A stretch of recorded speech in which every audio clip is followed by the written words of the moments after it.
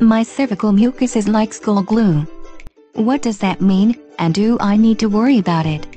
Your cervical mucus is usually sticky, gooey and white. This is more than a little like that. If it is gummy or sticky like school glue, we'll just say you are not fertile. What would indicate fertility? If it is shifting from the normal thick, white and gooey to creamy like lotion, you're shifting to your fertile stage. Meaning about to ovulate. When cervical mucus is clear, watery and slipper like egg whites, you are at your most fertile. It takes on that consistency to let the sperm in. After that point, it starts to shift back to white, sticky and gooey. It becomes even more glue-like and crumbly right before your period. I've heard the cervical fluid dries up.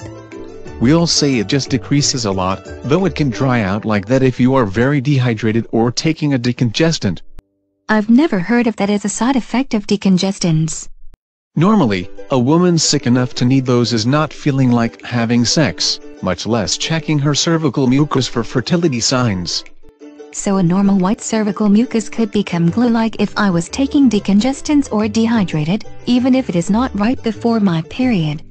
We'll just say that if the cervical mucus is white or light yellow with tiny clumps like dried paste or wet glue, you're really infertile, as you would be if it was just white and tacky. It feels really weird to be talking about this. If it felt like crumbling Play-Doh pieces, dry and pasty, you'd know you were in an infertile phase. I hated the way it looked on my underwear. The infertile phase cervical mucus can look like dried out white spots that sit on the underwear, instead of the watery fertility phase stuff that seeps straight into the underwear. The only thing I'm used to monitoring my underwear for is period blood.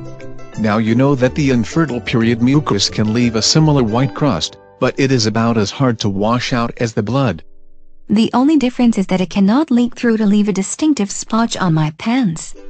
If it is white and sticky and starts to shift to pink or brown discharge, you do know your period is about to start. Well, I won't miss the distinctive red spot that indicates when it has started.